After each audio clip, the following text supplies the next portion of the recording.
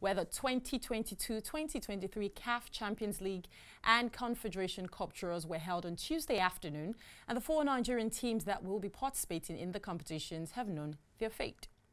Nigeria Professional Football League champions Rivers United have been drawn against Watanga FC of Liberia, while Plateau United will play Gabonese champions ASO Stade Mandji in the CAF Champions League.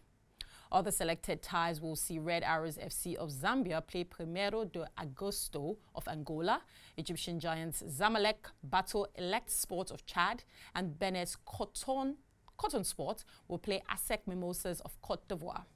Six clubs have been exempted from the first qualifying round, and they are defending champions Wydad Casablanca, Esperance, Raya Casablanca, Al Ahly, TP Mazembe, and Mamelodi Sundowns in the CAF Confederation Cup.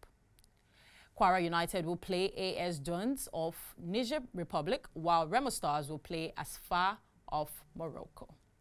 In other selected games, AS Douane of Burkina Faso will play AS Real Bamako of Mali, and Milo FC of Guinea will take on Togolese club ASCK. 14 clubs were exempted from the first preliminary round of the Confederation Cup, and they will enter the competition in the next round, including reigning champions RS Berkane of Morocco, former winners Hearts of Oak from Ghana, Algeria's JS Saoura, and Pyramids of Egypt. The first leg of the matches of the first pre preliminary round will be played from the 9th to the 11th of September, with the return matches scheduled for the following week.